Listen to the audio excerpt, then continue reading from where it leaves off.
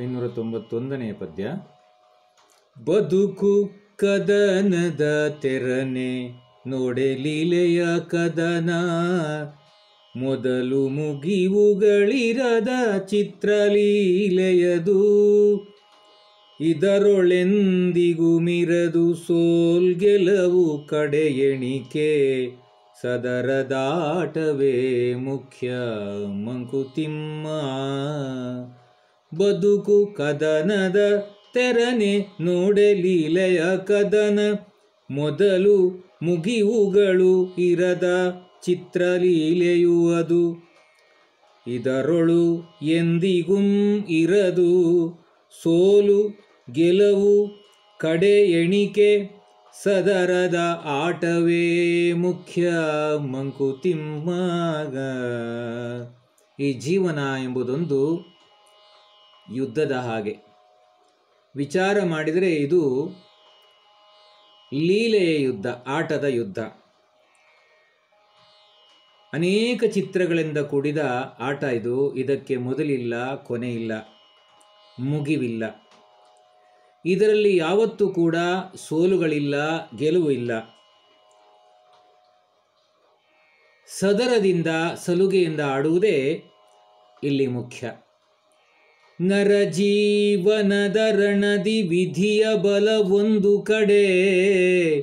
ಚಿರವಿವೇಕದಿ ಬೆಳೆದ ನಲುಮೆಯೊಂದು ಕಡೆ.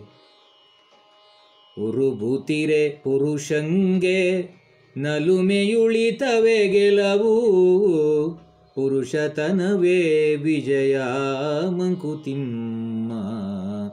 ನರ ಜೀವನದ ರಣದಿ ವಿಧಿಯ ಬಲವು ಒಂದು ಕಡೆ, ಚಿರವಿವೇಕದಿ ಬೆಳೆದ ನಲುಮೆಯು ಒಂದು ಕಡೆ ಉರುಬುತಿರೆ ಪುರುಷಂಗೆ ನಲುಮೆಯ ಉಳಿತವೇ ಗೆಲವು, ಪುರುಷತನವೇ ವಿಜಯ ಮಂಕುತಿಮ್ಮ. ಮನುಷ್ಯನ ಜೀವನದ ಯುದ್ಧದಲ್ಲಿ ವಿಧಿಯ ಬಲ ಒಂದು ಕಡೆ ಇದ್ದರೆ ಶಾಶ್ವತವಾದ ವಿವೇಕದಿಂದ ಬೆಳೆದ ಪ್ರೀತಿಯ ಬಲ ಇನ್ನೊಂದು ಕಡೆ ಇರುತ್ತೆ.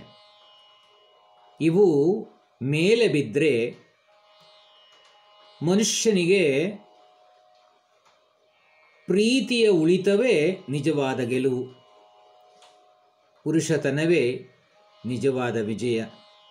ಸತ್ತೆನೆಂದೆನ ಬೇಡ ಸೋತೆ ನಿಂದೆನ ಬೇಡ ಬತ್ತಿತೆನ್ನೊಳು ಸತ್ವದೂಟೆಯನ ಬೇಡ ಮೃತ್ಯುವೆನ್ನುವುದೊಂದು ತೆರೆ ಇಳಿತ ತೆರೆಯೇರು, ಮತ್ತೆ ತೋರ್ಪುದು ನಾಳೆ ಮಂಕುತಿಮ್ಮ.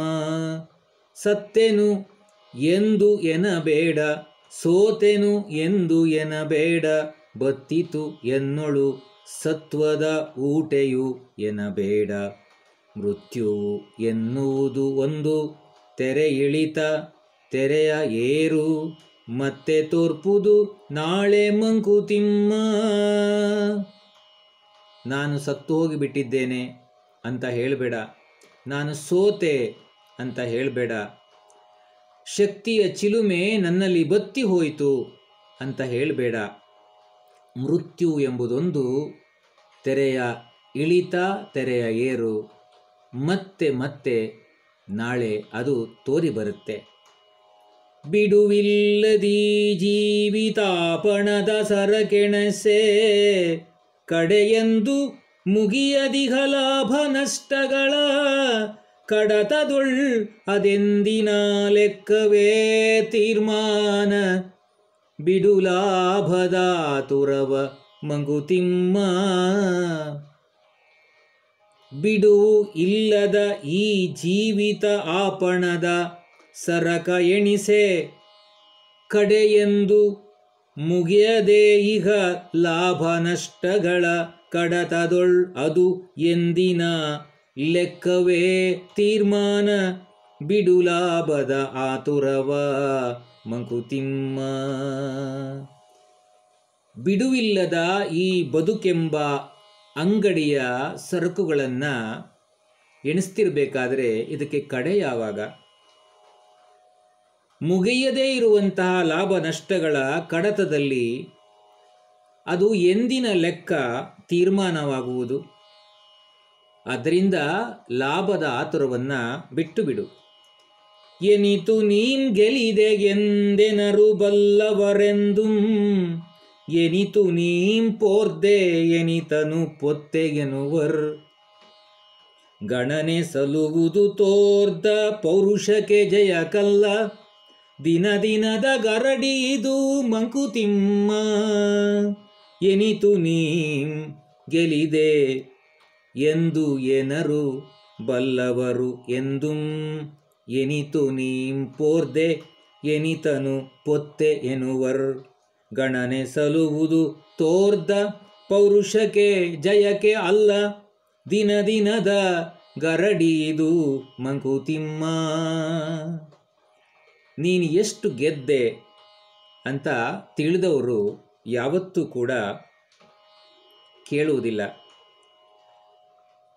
ಆಟದಲ್ಲಿ ನೀನು ಎಷ್ಟು ಹೋರಾಡಿದೆ, ಎಷ್ಟು ಜವಾಬ್ದಾರಿಯನ್ನು ತಗೊಂಡೆ ಅಂತ ಕೇಳ್ತಾರೆ.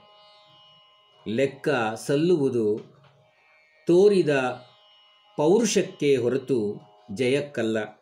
ಇದು ದಿನ ದಿನದ ಗರಡಿಯ ವ್ಯಾಯಾಮ ಇದ್ದ ಹಾಗೆ.